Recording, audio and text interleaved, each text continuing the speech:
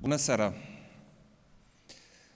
Este nevoie de un nou proiect de țară.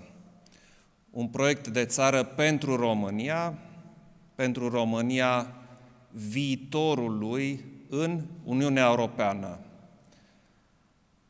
Acesta a fost mesajul meu către liderii cu care m-am întâlnit astăzi la ora 17 și am terminat întâlnirea acum câteva minute.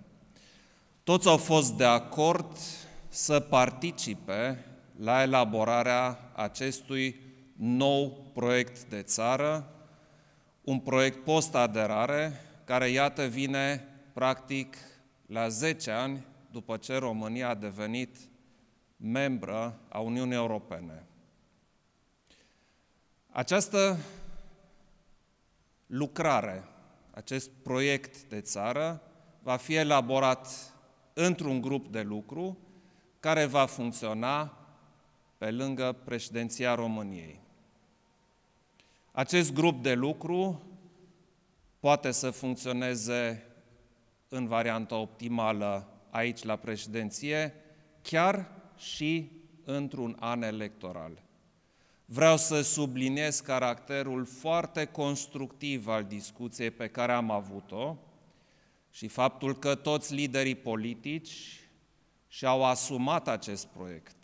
Un astfel de proiect de țară poate să devină funcțional numai în situația în care este adoptat, aprobat, susținut consensual din păcate, în România am avut destul de multe așa numite proiecte de țară, strategii care nu au fost nici implementate, nici nu au dăinuit, fiindcă a lipsit consensul politic.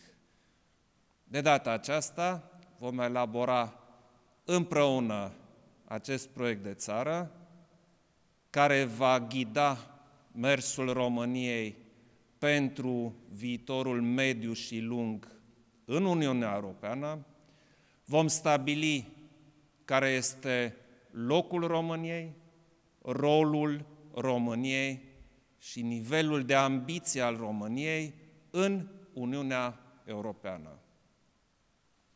Vă mulțumesc!